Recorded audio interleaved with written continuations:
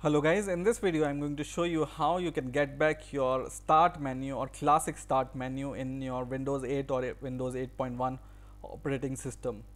So once you have installed Windows 8 or Windows 8.1 operating system, the first thing you will observe here is when you click the start menu in Windows 8.1, Windows 8 don't even have this button and when, when you click here, you will see this tile menu, tile start menu here and if you want to get your old menu which was uh, which you are used to in Windows 7 or Windows XP how you can do it I will show you in this video.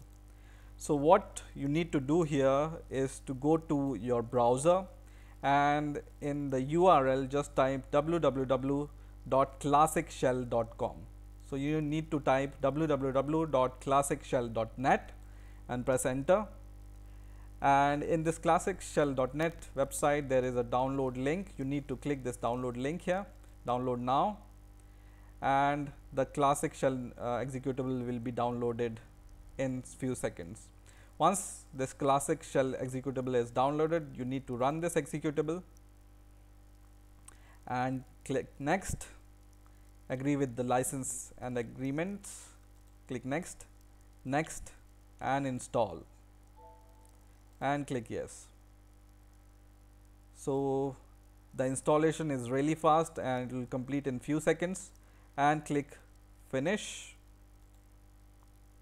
And once this uh, installation is finished and then when you go to your start button if you have Windows 8 you will immediately see uh, a start button here.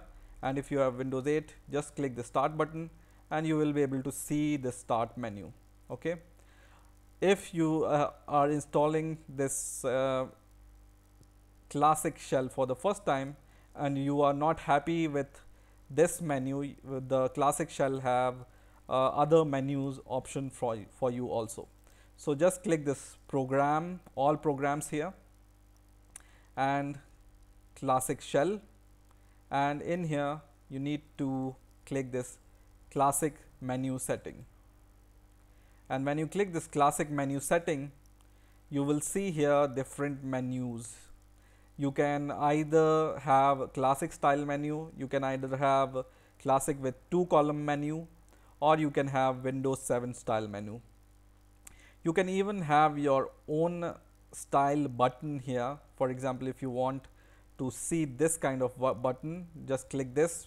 So just click this checkbox here and choose your button type here. Instead of this button you can customize your button uh, according to this also. But I would like to have Windows 7 style uh, start menu. That's why I have selected this. But you can choose uh, whatever menu you want. There are some other settings here you can uh, play with.